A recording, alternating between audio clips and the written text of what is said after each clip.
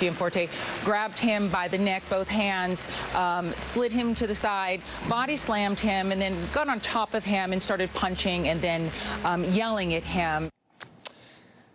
But Gianforte's campaign blamed Jacobs and then tried to smear him. Quote, it's unfortunate that this aggressive behavior from a liberal journalist created this scene at our campaign volunteer barbecue. Gianforte has since been charged with misdemeanor assault, but folks, as bad as that incident was last night, it arguably got worse today. Some House Republicans seem to almost defend what he did.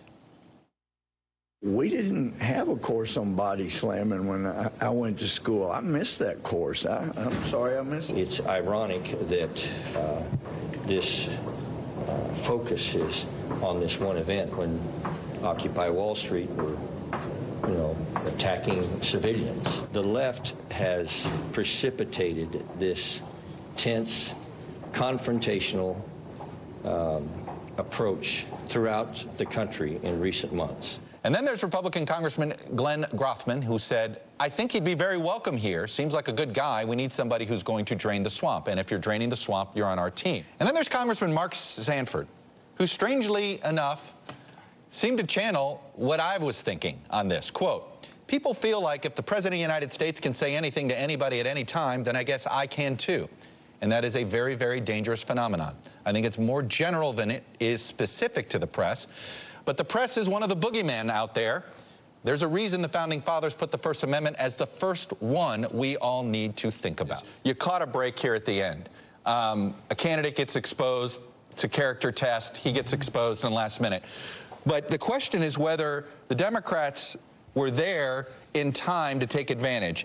I know it's late here, but you look at the spending advantage. The Republican Congressional Campaign Committee has outspent the Democrats three to one.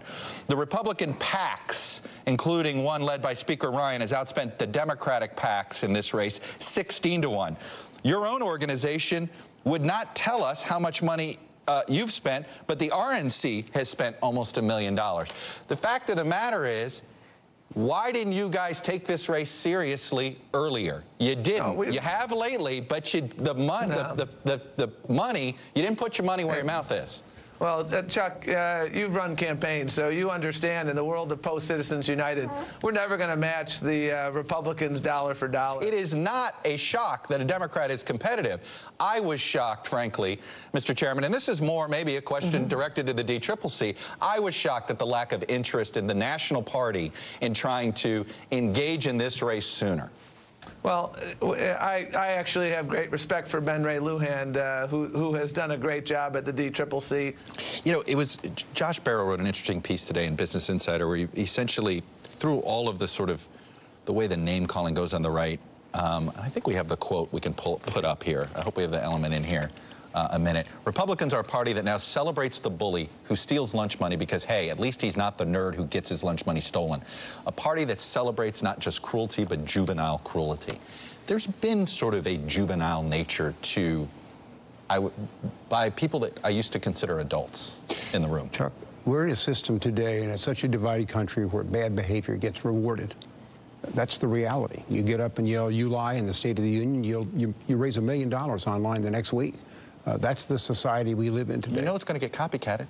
It is being copycatted. You look at the 2010 Tea Party, Democrats are, are copying that, that, using that same uh, uh, attitude now going in the town meetings and everything else. We call it the herbal tea party. Right. Uh, on, on the left, they, they went to school on what the Republicans did, and each side, it tends to get exaggerated each cycle, no matter which party's in trouble.